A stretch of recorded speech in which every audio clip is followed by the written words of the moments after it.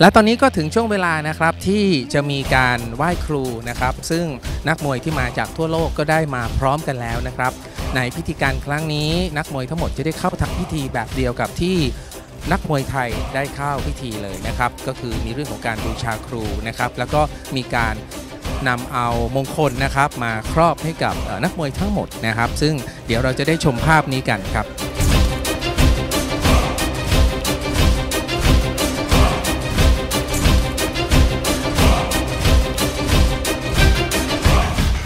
และตอนนี้ก็ถึงเวลาแล้วนะครับที่นักมวยนะครับจะเดินทางเข้าสู่ประรำพิธีนะครับเพื่อที่จะเข้าสู่พิธีไหว้ครู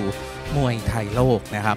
สิ่งที่เราจะได้เห็นหลังจากนี้ไปก็คือเป็นเรื่องของบรรยากาศของความศักดิ์สิทธิ์นะครับ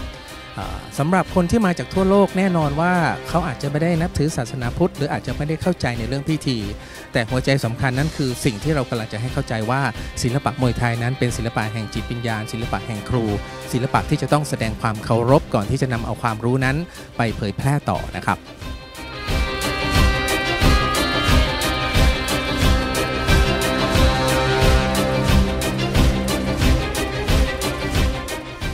และที่เห็นอยู่นี้นะครับก็คือครูมวยนะครับ ซึ่งเป็นครูมวยของประเทศไทยนะครับ หลายๆ คนได้ยินว่าศิลปะมวยไทยนั้นดังไกลไปทั่วโลกนะครับ แต่วันนี้ครูผู้สืบสารนั้น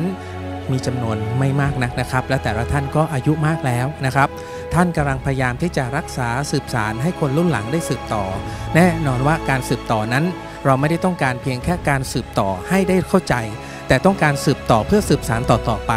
และเป็นการสืบสารต่อไปอย่างถูกต้องด้วย แม้ว่ามวยไทยในวันนี้จะเป็นมวยที่มีการประยุกต์ แล้วก็ปรับปรุงเปลี่ยนแปลงไปมากนะครับ มีการใช้เรื่องของเทคโนโลยีเข้ามาเกี่ยวพันเรื่องของการ Presentation ที่มากขึ้น อย่างไรก็ตามแต่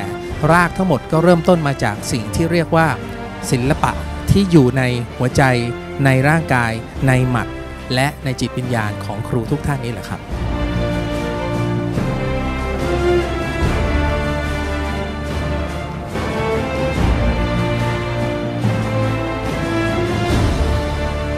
กล่าวถึงศิลปะการต่อสู้มวยไทยนะครับ แน่นอนว่าจุดเริ่มต้นนั้น เริ่มต้นมาในเรื่องของศิลปศาสตร์ของการต่อสู้เพื่อปกป้องแผ่นดิน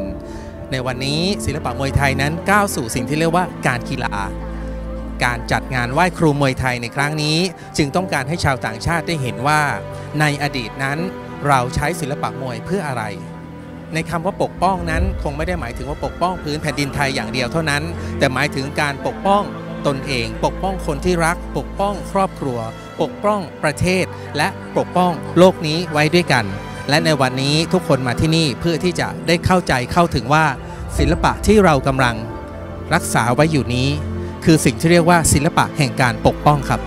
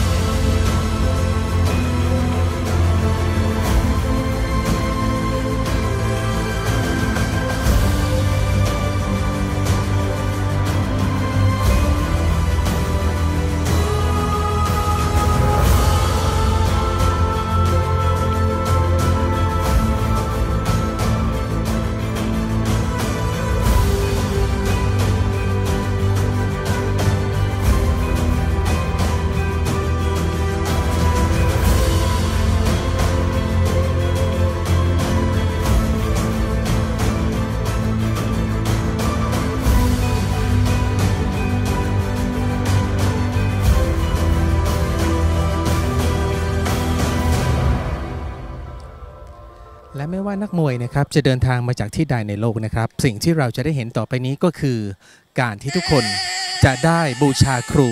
มวยไทย ซึ่งเป็นศิลปะที่เกิดขึ้นณแผ่นดินไทย ศิลปะการไหว้ครูนั้นมีหลากหลายครูหลากหลายรูปแบบ แต่ครั้งนี้ทุกคนไหว้ในรูปแบบเดียวกันด้วยศรัทธาเดียวกัน ต่อมวยไทย